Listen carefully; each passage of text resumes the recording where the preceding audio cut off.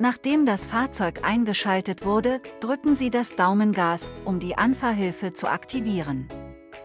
Diese Anfahrhilfe ist bis zu einer Geschwindigkeit von 6 km pro Stunde wirksam und hilft dabei, ein sanftes und kontrolliertes Anfahren zu ermöglichen. Um die Ono rückwärts fahren zu lassen, gibt es einen speziellen Knopf am rechten Griff.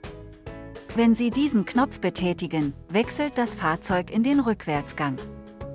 Dies ermöglicht es Ihnen, die Ono rückwärts zu manövrieren, was besonders in engen Räumen oder bei schwierigen Parkbedingungen sehr hilfreich sein kann. Während Sie rückwärts fahren, erscheint auf dem Display ein Hinweis, der Sie daran erinnert, dass die Pedale beim Rückwärtsfahren mitdrehen. Sie können Ihre Füße auf die dafür vorgesehenen Streben des Rahmens abstellen oder rückwärts in die Pedale treten, zum Anhalten ziehen Sie gleichzeitig beide Bremshebel, um schnell und sicher zum Stillstand zu kommen. Üben Sie das Fahren und Bremsen mit der ONO vor Ihrer ersten Tour auf einer geeigneten Fläche. Gewährleisten Sie immer Ihre und die Sicherheit aller VerkehrsteilnehmerInnen.